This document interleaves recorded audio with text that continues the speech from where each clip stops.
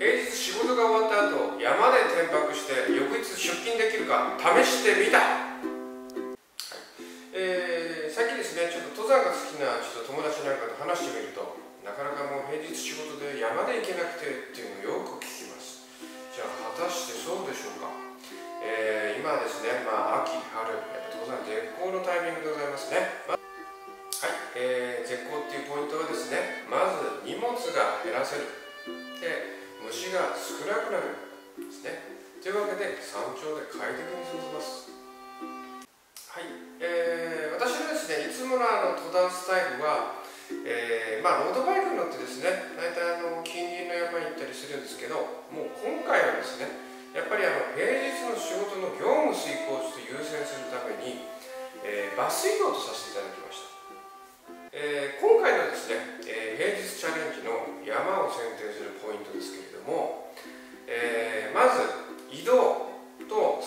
頂に到着するまでの時間ですね。ここまでの間が約2時間までですね。この範囲できる山を選定するのがポイントです。あと日の入り時間ですね。真っ暗になる時の点灯設営すると大変なのでここもちょっと見ておいた方がいいですね。はい、えー、今回はですね、えーと、福岡市東区の三日月山をちょっとチョイスさせていただきました、えー、じゃあ今回のタイムスケジュールです、えー、4時10分まず業務終了しますその後、えー、4時23分バス移動です、えー、その後、えーと、5時1分にバス停到着します。でなんやかんやこうコンビニとかでトイレ行ったりとかですね、えー、買い物をするとやっぱ登山口に5時半に到着。で5時50分三日月山山頂に到着します。でその後、えー、6時半テント設営を終了させます、まあ、日の入り時刻ありますからね。で6時40分から山頂飯です。まあ夜ご飯ですね。その後やっぱり翌朝早いので9時には就寝します。はい、えー、2日目のタイムスケジュールです、えー、5時半起床、えー、5時40分山頂飯食べます。7時にテセントの撤収完了です。7時20分、えー、登山口に到着して7時36分、えー、バスが出発します。で8時13分にバスが到着して8時半に職場到着です。9時半から業務開始余裕を持って平日の仕事に入ります。えー、ただいまですね時刻が4時10分。今から山に向かいます。今時刻が約5時半。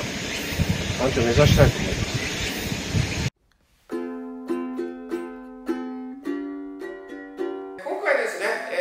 山頂三日月山の山頂にて、えー、テントはローカスギアの工夫を、えー、貼らせていただきました、えー、ただこの三日月山の山頂ですね、えー、ちょっとトイレとか水はありませんので、えーと、事前にまあ不安な方は携帯トイレなどですね、え、用意された方がいいかなと思います水もたくさん持ち込んでおいた方がいいですね、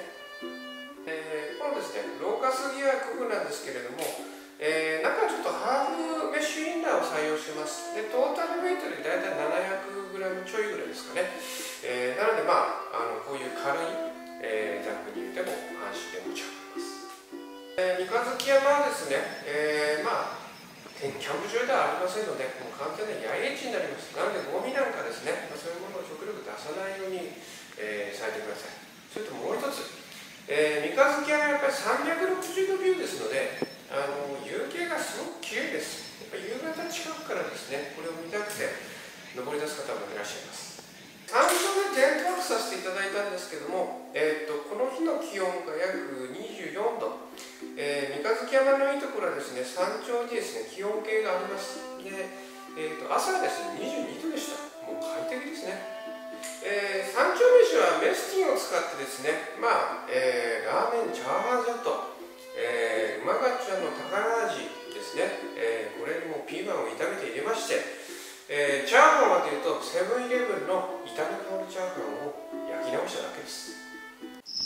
えー、三日月山はですねなんとあの有形以外にも360度ビューなので夜景もすごく綺麗なんですね、えー、今回はですねあのいただいたお菓子を山頂でコーヒーを飲みながら、えゆっくりいただきましたえー、これはやっぱりちょっとね三日月山の山頂に転泊される人の、まあ、恩恵ですね時刻が日の出を迎えまして時半、えー、朝食を食べて仕事に向かいたいと思いますよろしくお願いしますえー、三日月山の山頂、えー、夕景、夜景、もう一つ、朝日もですね、すごく綺麗です。もうこれを見てのですね、あの朝の山頂富士、えー最高でした。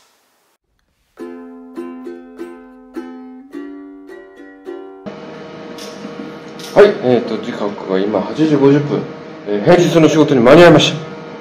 えー平日チャレンジ、えー平日仕事が終わった後山でテント泊して翌日出勤できるか試してみた。無事になんとか遂行できました、えーこちらのですねまあ無謀なチャレンジ参考になりましたらチャンネル登録